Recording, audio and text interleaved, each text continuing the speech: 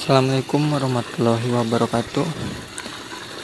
Di video kali ini Saya akan Memperkenalkan Alat otomatis Untuk kebun hidroponik.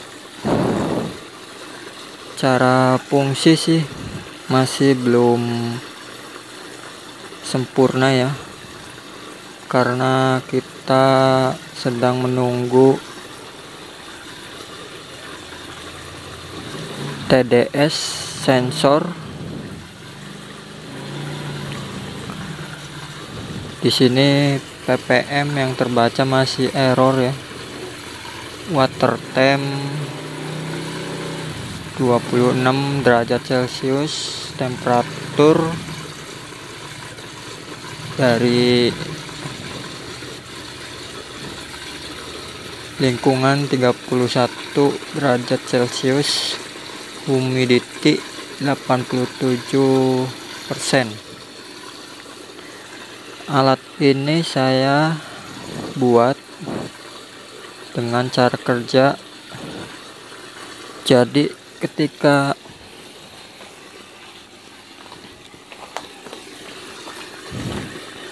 air pada tandon ini berkurang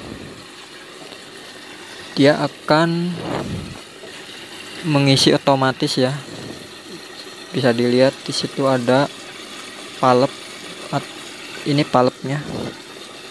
Ini pelampung. Ketika lampung atas turun sama yang di bawah turun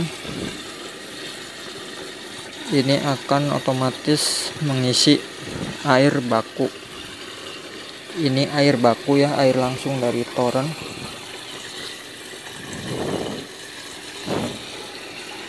Nah untuk saat ini masih belum sempurna karena sedang menunggu TDS sensor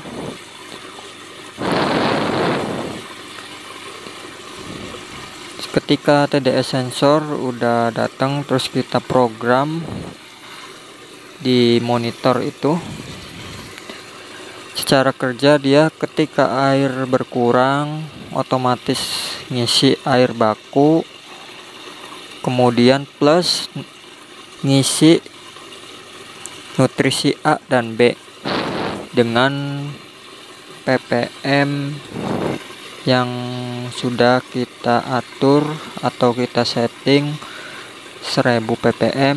Jadi ketika dalam tandon ini ppm nya belum mencapai 1000 ppm nantinya akan mengisi abemik otomatis. Project ini masih 75% ya tinggal menunggu menunggu TDS sensor saja.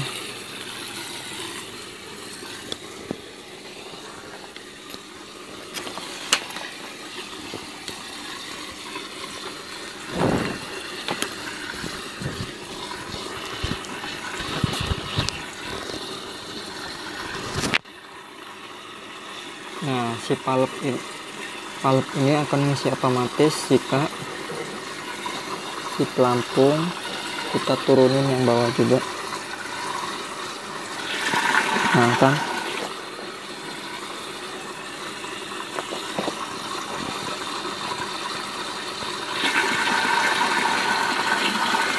Bisa dilihat teman-teman.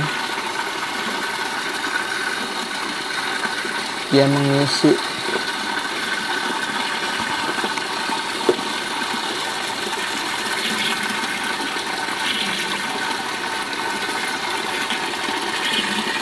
kelihatan ya.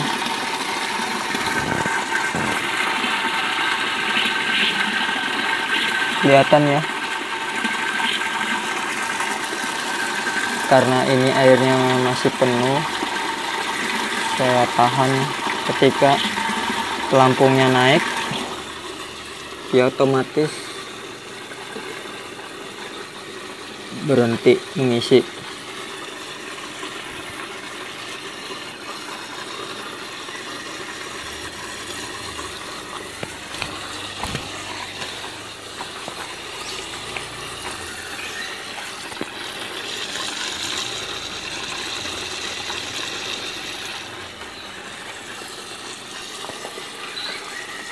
oke. Mungkin sekian video kali ini. Nanti saya akan videokan lagi. Kalau TDS sensornya udah datang dan kita program TDS sensornya dengan takaran 1 liter air akan mengisi 5 mili A dan 5 mili B.